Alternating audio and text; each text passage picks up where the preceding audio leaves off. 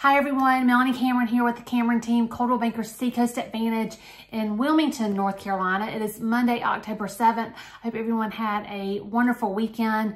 Um, thoughts and prayers continue with everyone in Western North Carolina and Florida and Georgia and South Carolina that were affected um, by the hurricane. Um, I continue to hear such sad, sad stories. Um, I know personally our office has um, contributed a lot of stuff to the to the cause to donate to go up to Western North Carolina. There's places all over town that are collecting donations. So if you'd like to make a donation, whether it's an item or a cash donation or a check, and can't get it some or don't know where to do, call me and I'm happy to deliver um, to the areas. I know several pickup places, drop off places that are accepting donations. Um, we've They've always helped us um, when we've had hurricane disasters and it's time to help those people out in Western North Carolina. Always continued in our, in our thoughts and prayers.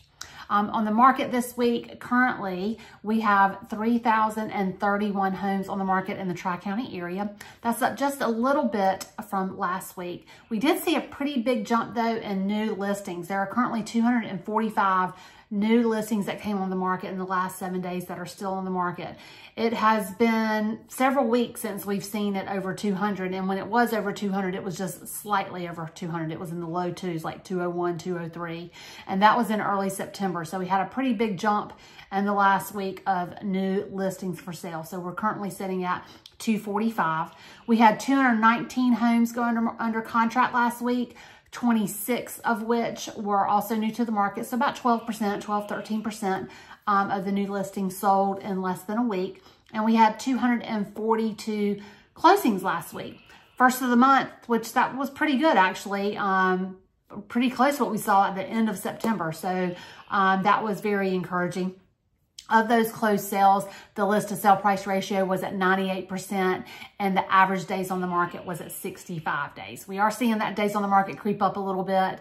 Um, still seeing some price reductions as sellers are getting a little, wrapping their heads a little bit more around um, the market value. It has been teetering um, up and down a little bit.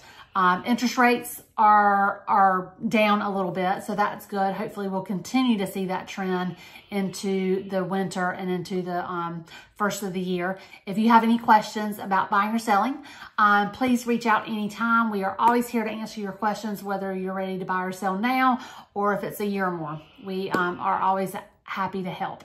Um, you can reach us anytime at 910 233 2840. Remember to check us out at thecameronteam.net. Give us a thumbs up and subscribe on YouTube and follow on all our social media. We look forward to hearing from you and hope you have a great week.